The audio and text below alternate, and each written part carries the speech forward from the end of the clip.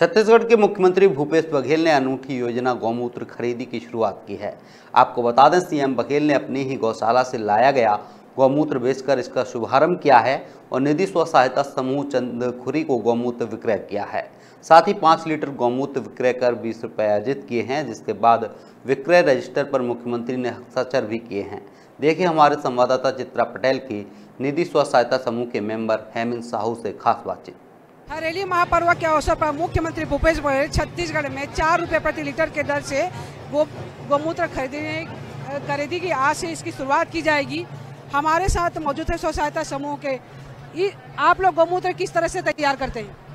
पहले तो हम लोग अपना गौमूत्र खरीदने से पहले उसको टेस्ट करेंगे। टेस्ट करने के बाद अपना इसमें यूरिनल मीटर आता है, उसमें टेस्ट करेंगे।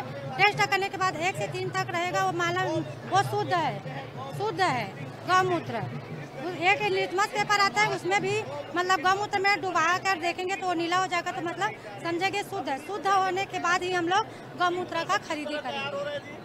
इससे गौमूत्र खरीदने के बाद हम लोग दवाई बनाते हैं, पाँच छह प्रकार का दवाई जो कीट नियंत्रण है।